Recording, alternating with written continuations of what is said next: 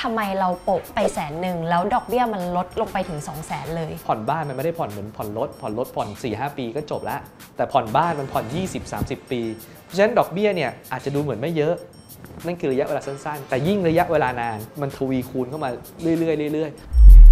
สวัสดีค่ะคุณผู้ชมขอต้อนรับเข้าสู่ Saving Guru ค่ะ วันนี้นะคะประเด็นที่เราจะคุยกันก็สืบเนื่องมาจากบทความที่ดรพีทพิ่งลงไปเมื่อสัปดาห์ที่แล้วค่ะ ว่าถ้าเรามีเงินก้อนมาก้อนหนึ่งช่วงปีใหม่แบบนี้เอาไปโปะบ้านหรือโปะรถก่อนดี มาดูกันง่ายๆนะครับว่าจริงๆ ดอกเบี้ยเนี่ยที่เขาคิดเนี่ยระหว่างดอกเบี้ยบ้านกับดอกเบี้ยรถยนต์เนี่ยมันต่างกันนะครับดอกเบี้ยบ้านเนี่ยเวลาเราคิดเนี่ยเขาเรียกว่าอัตราแบบลดต้นลดดอก หรือ effective rate นะฮะหมายถึงว่าต้นลด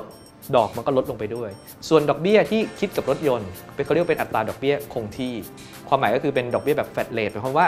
เราผ่อนเงินไปละต้นเงินลดลงมาละแต่ดอกเบี้ยเท่าเดิม สมมตินะ เรากู้เหมือนกันเลยรถยนต์กับบ้านกู้อย่างละ 1 ล้านบาทเท่ากัน คิดดอกเบี้ย 10%ผ่านไป 1 ปี สมมุติว่าเราเนี่ยชำระเงินต้นไปแสนหนึ่งก็จะเหลือเงินต้นเนี่ย9แสนทีนี้บ้านจากล้านหนึ่งดอกเบี้ย 10%คือแสนหนึ่งถ้าเงินต้นเหลือ9แสน ดอกเบี้ยก็จะเหลือ 90,000 แต่พอรถยนต์เนี่ยเงินต้นเนี่ยลดลงมาแล้วจากล้านหนึ่งเหลือ9แสนแต่ดอกเบี้ยเนี่ยเขาคงที่ก็คือยังคิดแสนหนึ่งไปตลอด ต้องถามก่อนว่าปกติเราผ่อนบ้านเนี่ยเราผ่อนกันกี่ปี เราบอกว่า 20 ปี 30 ปี สมมติผมบอกว่าผมกู้เงินเนี่ยนะครับ1ล้านบาทนะเพื่อมาซื้อบ้านนะดอกเบี้ยเนี่ย5%ต่อปี ผ่านไป 20 ปี ถามว่าดอกเบี้ยเป็นเท่าไหร่ เอาแบบตัวเลขกลมๆล้านหนึ่งคิด 5%แปลว่าปีละ 50,000 50,000 คูณ 20 20 ปีก็คือล้านหนึ่งถ้า 30 ปีล่ะ ดอกเบี้ยก็เป็นล้านห้าอันนี้คิดแบบดอกเบี้ยแบบกลมๆแบบจริงๆ มันไม่ได้คิดแบบนี้อ่าแต่อันนี้คือให้เห็นภาพว่าจริงๆ แล้วดอกเบี้ยเนี่ยมันเยอะมากมันมหาศาลมาก จากในตัวอย่างเนี่ยนะเราบอกว่าเราเนี่ยกู้กันเนี่ยประมาณ 2 ล้านบาทนะครับ คิดดอกเบี้ยเนี่ยร้อยละ 5 ต่อปี แล้วบอกว่าผ่อนกันเนี่ยนะครับเดือนละ 11,000 บาท เราบอกว่าเราผ่อนไปแล้วเนี่ยนะครับ60 งวดก็คือ 5 ปี เงินต้นจาก 2 ล้านเนี่ยเหลือประมาณ1ล้าน8แสน18,650 บาท 45 สตางค์เมื่อโปะเข้าไป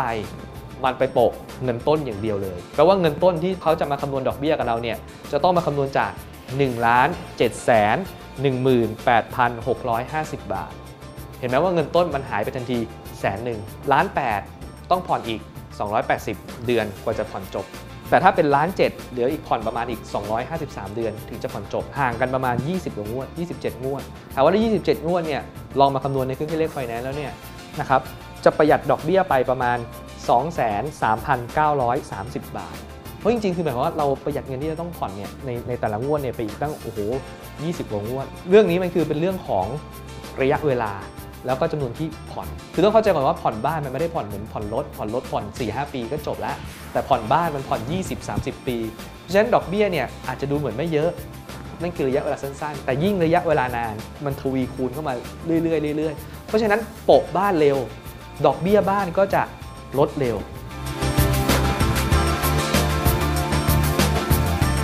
คำว่าสบายคือหมายถึงว่าเราสบายครับ หมายถึงว่าเราไม่ต้องไปชำระ 2 ที่ แต่เดี๋ยวนี้เนี่ยเราไม่ต้องเดินไปของธนาคารหรือเดินไปลิสซิ่งเดินไปแบงก์เดี๋ยวนี้เราชำระผ่านมือถือ เพราะฉะนั้นความสะดวกสบายในการชำระหนี้เนี่ยไม่ว่าจะเป็น 2 ที่หรือที่เดียวไม่ต่างกัน เมื่อไม่ต่างกันสิ่งที่เราควรดูคืออะไร ก็คือควรดูว่าแล้วอันไหนมันประหยัดหรือมันเซฟเงินเราในอนาคตได้มากกว่ากัน ทีนี้การที่ไปโปะลดกฎหมายบอกว่าลดดอกเบี้ยได้ให้ 50%ของดอกเบี้ยที่เหลืออยู่ ซึ่งถ้ามันเหลือยอดดอกเบี้ยน้อยๆเนี่ยลด 50%ไปเนี่ยมันมันน้อยมาก มันแทบไม่กระเทือนเลย แต่ถ้าเราเอาแสนหนึ่งตรงนั้นเนี่ยไปโปะบ้าน ความหมายคือเราจ่ายเงินต้นเพื่ออีก 20-30 ปีข้างหน้า เพราะฉะนั้นดอกเบี้ยที่มันจะลดเนี่ยมันลดสำหรับ